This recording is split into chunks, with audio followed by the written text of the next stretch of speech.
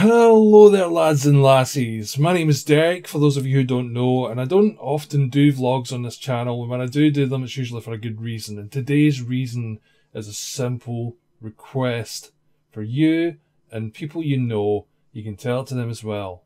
Stop panic shopping. Stop hoarding things. There's no point.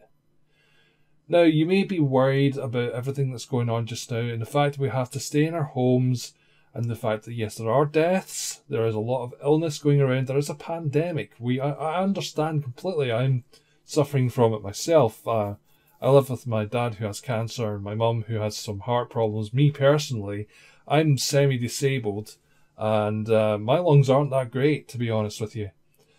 Um, but that's beside the point. This hoarding business, this panic shopping, this going out to a shop and buying 50 pints of milk and 100 toilet papers and this, that, and the other, it, it's, it's madness. It really is because people are worried that food's going to run out, toilet paper's going to run out, milk's going to run out. This isn't a war. This isn't a time where farmers are fighting and can't grow new produce. It's not a time where people aren't working their asses off in the factory double time at the moment because of you lot. Not saying you personally, but you know what I mean. This is a time where we should be calm. Okay? There is plenty of food to go around. There is plenty of toilet paper. There is plenty of milk.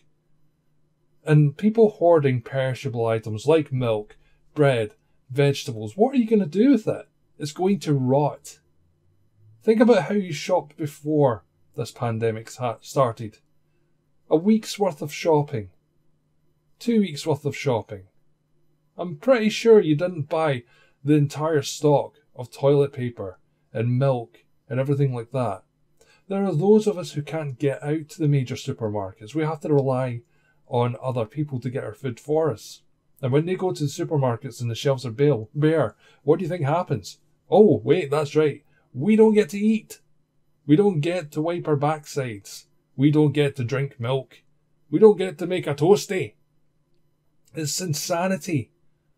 Stop and think. And if you are one of those people who went out and you stockpiled so much stuff that you have nowhere to put it, and you're starting to have to chuck out vegetables, you're starting to have to chuck out milk, you're starting to have to chuck out bread because you've got nowhere to put it. Think about the folk around you. Think about the disabled. Think about the elderly.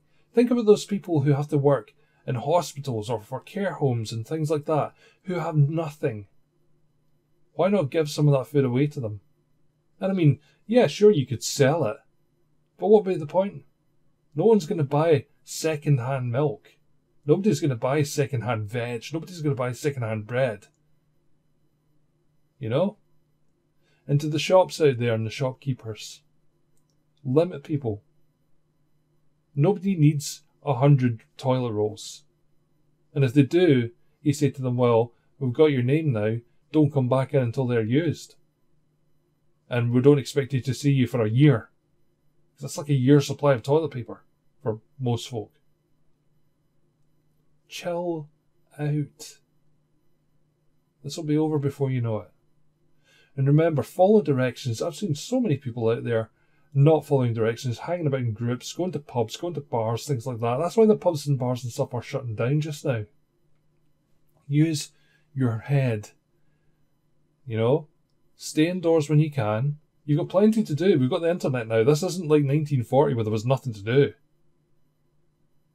Okay? We've got the internet. You've got video games. You've got board games. You've got family. You've got conversation. And if you don't have any of those, then I'm sure you've got neighbours.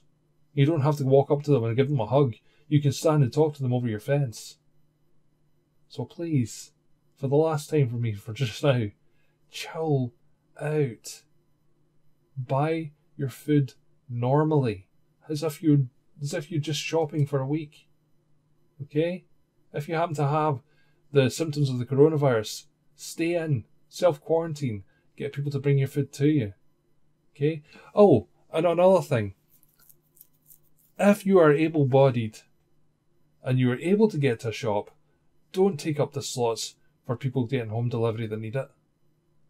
I had a look at home delivery the other day there. It's about May now before any home deliveries can be done. The only place that's doing deliveries now is Amazon, and I'm surely not going to be paying the prices they're asking. But anyway, thank you all so much for watching, and please do stay safe and don't panic. It's no point. Alright? There will be a gaming video up today as well, so don't panic about that either. Anyway, thanks for watching. I'll catch you next time, but until then, bye bye.